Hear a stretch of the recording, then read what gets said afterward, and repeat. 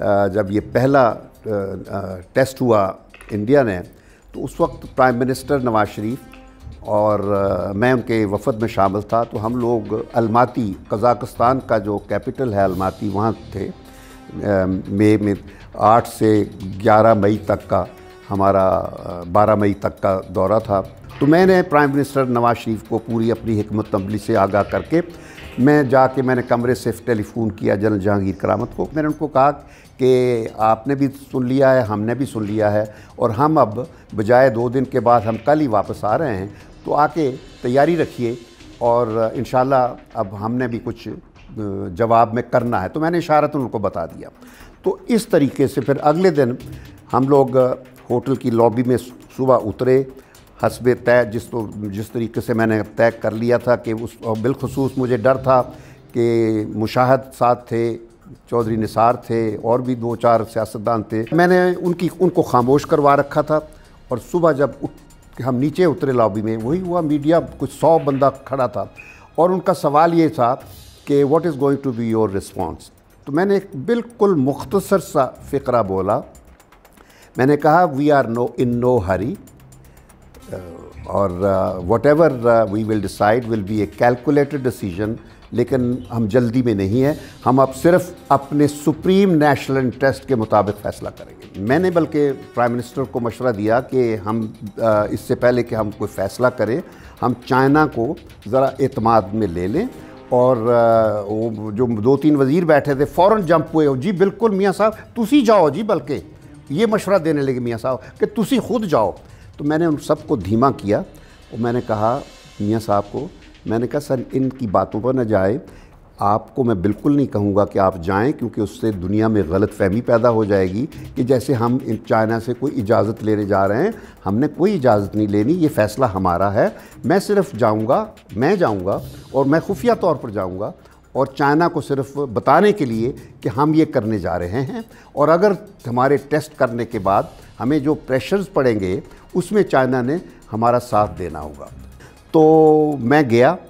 ये और चीज़ है कि जिस वक्त मैं इस्लामाबाद के एयरपोर्ट पर जहाज़ में कदम रखा तो वहाँ पहला बंदा जो मुझे कन्फ्रंट करता है जहाज़ के अंदर, इस्लामाबाद में, वो मीडिया का एक जर्नलिस्ट था।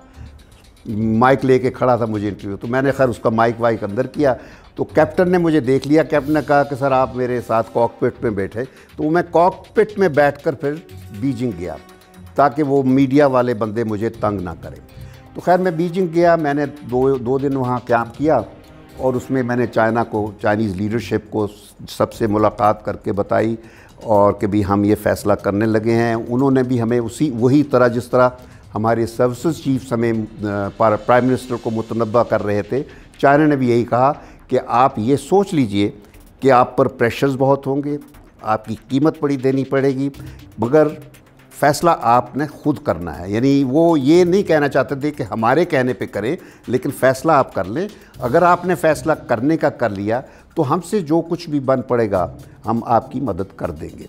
और बिलखसूस सफारती सतह पर मैंने कहा था तो उन्होंने कहा कि सफारती सतह पर हम आपकी मदद करेंगे, जो उन्होंने की। तो इस तरह वापस आ गए। और वापस, जब कराची पहुँचते हैं, उन दिनों हमारे जंबो जेट्स हुआ करते थे।